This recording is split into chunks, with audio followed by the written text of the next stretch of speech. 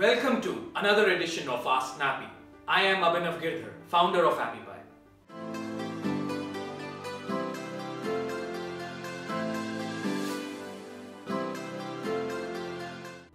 Today's question comes from Samantha from New Jersey and she goes to school and she would love to create an app for her school. Before I answer this question for you, in order to publish your app for your school on Google Play and iTunes, you would need to take necessary permissions from your school. So I am assuming you have those permissions from your school. So in order to create an app for your education institute, you also have the option to add tons of elements from Khan Academy.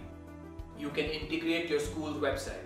You can integrate the address so that students can have turn-by-turn directions on Google Maps. You can also integrate your Twitter handle. You can also add your Facebook page, YouTube channel. On top of that, there are other features like you can have a text page or you can send push notifications to the students telling them about some event. We also have a feature which is called the in-app purchase feature. In this, you can also add all your course material into this feature and you can keep it for free. If you want, you can also have it as paid, but I'm assuming it's a school, so you would want to keep it as free.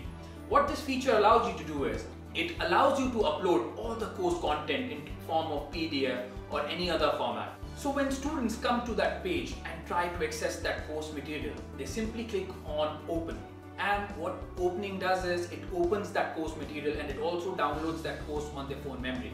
So when you're not even having internet access on your phone, you still have access to that course. You like this edition, then do share it on social media channels like Facebook and Twitter and do remember to subscribe to our channel.